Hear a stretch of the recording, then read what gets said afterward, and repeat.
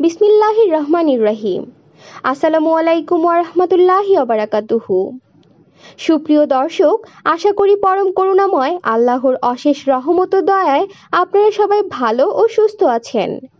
আমাদের চ্যানেলটি সাবস্ক্রাইব করে আপনার বন্ধুদের শেয়ার করে সত্য প্রচারে সহযোগিতা করুন। যৌন ক্ষুধা কি সাধারণ ক্ষুধার চেয়ে কম গুরুত্বপূর্ণ? ক্ষুধা লাগলে যেমন খেতে হয়, খাবার না পেলে চুরি করে হলেও মানুষ খাবার সংগ্রহ করে। তাহলে যৌন ক্ষুধা নিবারণ করার সুযোগ না করে দিলে মানুষ তো স্বাভাবিকভাবেই হারামের দিকে পা বাড়াবে। দেখুন, বিয়ে কত সহজ ছিল সাহাবাদের সময়ে। সাহল বিন সাদ রাদিয়াল্লাহ তালা আনহু হতে বর্ণিত আছে যে, একবার এক নারী রাসুলুল্লাহ সাল্লাহ আলহি ওয়াসাল্লামের কাছে এসে বলল, হে আল্লাহর রাসুল, আমি আমার নিজেকে আপনার জন্য উপহার দিতে এসেছি। পরোক্ষ ভাষায় বিয়ের প্রস্তাব। তখন নবী সাল্লাহ আলহি ওয়াসাল্লাম তার দিকে তাকিয়ে তার আপাদমস্তক লক্ষ্য করে মাথা নিচু করলেন। সেই নারী যখন দেখল নবী সাল্লাহু ওয়াসাল্লাম কোনো ফয়সালা দিচ্ছেন না, তখন সে বসে পড়ল। এমন সময় রাসুল সাল্লাহু আলহি ওয়াসাল্লামের সাহাবিদের একজন বলল, যদি আপনার কোনো প্রয়োজন না থাকে, তবে এই নারীর সাথে আমাকে বিয়ে দিয়ে দিন। তিনি বললেন, তোমার কাছে মোহরানা দেওয়ার মতো কিছু আছে? সে বলল, হে আল্লাহর রাসুল, আল্লাহর কসম কিছুই নেই। তিনি বললেন, তুমি তোমার পরিবারের কাছে ফিরে যাও এবং দেখো কিছু পাও কিনা। এরপর লোকটি চলে গেল এবং ফিরে এসে বলল, আল্লাহর কসম, হে আল্লাহর রাসুল, আমি কিছুই পেলাম না। নবী সাল্লাহু আলহি ওয়াসাল্লাম বললেন, দেখো, একটি লোহার আংটি হলেও পাও কিনা? এরপর লোকটি চলে গেল এবং ফিরে এসে বলল, হে আল্লাহর রাসুল, আমি একটি লোহার আংটিও পেলাম না। কিন্তু এই যে আমার একটি লুঙ্গি আছে। সাহল রাদি আল্লাহ তাআলা আনহু বলেন, তার কোনো চাদর ছিল না। অথচ লোকটি বলল, এটাই আমার পরনের লুঙ্গি, এর অর্ধেক দিতে পারি। এ কথা শুনে রসুল সাল্লাহ আলহি ওয়াসাল্লাম বললেন, তোমার লুঙ্গি দিয়ে সে কি করবে? তুমি পরিধান করলে তার গায়ে কোনো কিছু থাকবে না, আর সে পরিধান করলে তোমার গায়ে কোনো কিছু থাকবে না।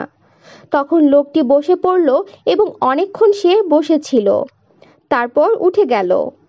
রাসুল সাল্লাহু আলহি ওয়াসাল্লাম তাকে ফিরে যেতে দেখে ডেকে আনলেন। যখন সে ফিরে আসলো, নবী সাল্লাহু আলহি ওয়াসাল্লাম তাকে জিজ্ঞাসা করলেন, তোমার কতটুকু কোরআন মুখস্থ আছে? সে গুনে বলল, অমুক অমুক সুরা মুখস্থ আছে। তখন নবী সাল্লাহু আলহি ওয়াসাল্লাম তাকে জিজ্ঞাসা করলেন, তুমি কি এ সকল সুরা মুখস্থ তিলাওয়াত করতে পারো? সে বলল হ্যাঁ।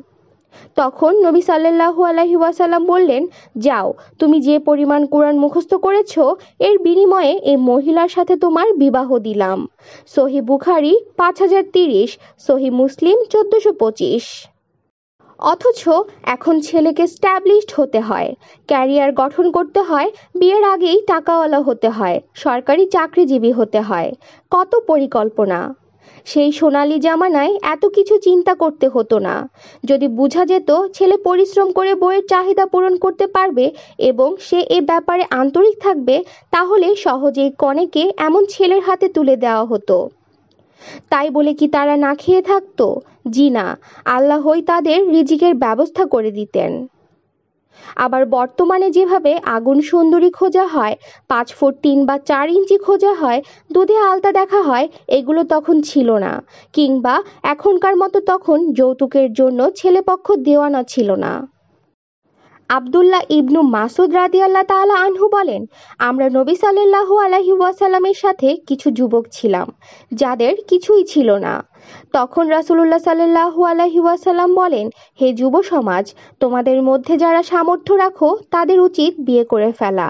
কেননা, বিয়ে দৃষ্টি অবনতকারী ও লজ্জায় স্থান হেফাজতকারী। আর যার সামর্থ্য নেই, তার উচিত রোজা রাখা। কেননা, রোজা যৌন উত্তেজনা প্রমোশনকারী। সহি বুখারি পাঁচ হাজার ছেষট্টি, সহি মুসলিম চোদ্দশো। মেয়েদের ক্ষেত্রেও একই কথা, কারণ ছেলেদের যৌন চাহিদার কথা অনেক সময় দৃশ্যমান হলেও মেয়েরা লজ্জায় কিছু বলতে পারে না। আবার মেয়েদের যতটা না যৌন চাহিদার প্রয়োজন, তার চেয়ে বেশি প্রয়োজন এমন একজন উত্তম জীবনসঙ্গী যার সাথে সে একান্তে সময় কাটাতে পারে। এজন্য মেয়েরা যখন বিয়ের মাধ্যমে এই সুযোগটি লাভ করতে পারে না, তখন তারা হারাম রিলেশনে জড়ায়। কিন্তু দিনে দিনে তার থেকে লাজুকতা ও কোমলতা হারিয়ে যেতে থাকে। অনেক সময় সে ছেলে বন্ধুর প্ররোচনায় অশ্লীল চ্যাট করে, নদীটি আদান প্রদান করে, আবার অনেক সময় নিজেই এসবে অভ্যস্ত হয়ে যায়, ট্রেন্ডে গা ভাসিয়ে দেয়। তাই শুধু ছেলেদেরই নয়, মেয়েদেরও সঠিক সময়ে বিয়ে দেওয়া জরুরি। রাসুলুল্লাহ সাল্লাহ আলহি ওয়াসাল্লাম বলেন, তোমরা যে ছেলের দিনদারি ও চরিত্রের ব্যাপারে সন্তুষ্ট হতে পারবে, সে যদি প্রস্তাব দেয়, তাহলে তার কাছে তোমাদের মেয়েকে বিয়ে দিয়ে দাও। যদি তা না করো, তবে পৃথিবীতে মহা বিপর্যয় সৃষ্টি হবে। তিরমিজি এক হাজার চুরাশি, হাদিসটি হাসান। সম্মানিত অভিভাবক, আপনি বাস্তবতায় আসুন। নিজের অবিবাহিত জীবনকে স্মরণ করুন। আপনার সন্তান এখন সেই সময়টি অতিবাহিত করছে। আপনি সেই সময়টিতে যা যা কামনা করতেন, আপনার সন্তান এখন সেটি কামনা করে। আপনি তখন যেভাবে মন খারাপ করে থাকতেন, আপনার সন্তান এখন তেমনটা করে। আশা করি বুঝেছেন। না বোঝার তো কিছু নেই। দয়া করে সমাজের দোহাই দিয়ে নিজের সন্তানকে হারামে জর্জরিত করে রাখবেন না। সন্তানের প্রতি এই অবহেলায় সন্তানের গুনাহের দায় আপনি এড়াতে পারবেন না। আল্লাহর কসম, আল্লাহর পাকড়াও থেকে রেহাই পাবেন না। বন্ধুরা, ভিডিওটি সম্পর্কে আপনার মূল্যবান মতামত কমেন্টস বক্সে লিখুন। ভিডিওটি ভালো লাগলে লাইক, কমেন্ট ও সাবস্ক্রাইব করতে ভুলবেন না। এবং আপনার বন্ধুদের মাঝে শেয়ার করে ছড়িয়ে দিন, যাতে তারা বিষয়টি জানতে পারে। ধন্যবাদ।